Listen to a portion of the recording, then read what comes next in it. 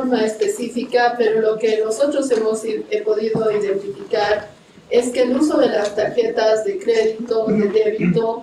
eh, en el exterior eh, se han incrementado. Nosotros tenemos datos, no sé si podemos mostrar este cuadrito por favor.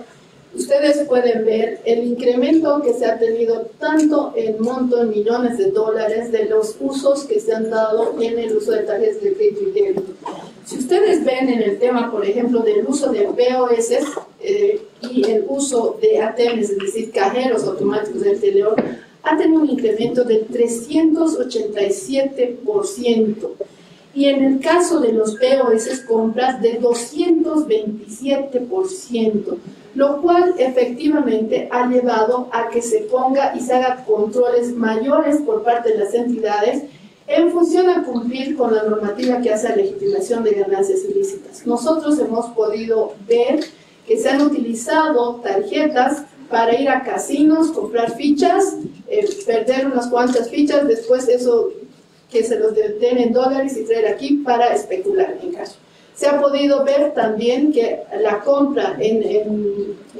países limítrofes de, de, productos, estoy hablando por ejemplo cerveza, en ingentes cantidades que después los devuelven para tener dólares y venir y especular. Por tanto, frente a este crecimiento inusitado y el uso de estas tarjetas inadecuadamente, se ha tenido que poner eh, controles y limitaciones. Lo que nosotros hemos estado viendo y se ha sacado um, también eh, circulares a las entidades que deberían dar una atención pues, a lo que es la parte de, educación, a lo que es la parte de salud, precisamente porque son los sectores eh, pues, más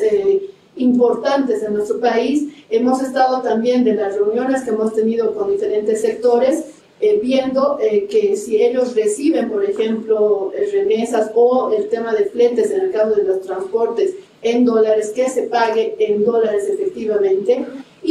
pueda saber cuánto dólar entra y a qué sectores se está dando pero definitivamente lo que tenemos que ver, y las entidades lo han estado haciendo, es un control de que estos dólares que en una primera instancia han estado yendo a un tema especulativo, ya han efectuado, han hecho también que lo que se tenía vaya disminuyendo y vaya al mercado negro, se, eh, se evite de esta, de esta manera. Entonces, eh, en coordinación, pues nosotros, eh,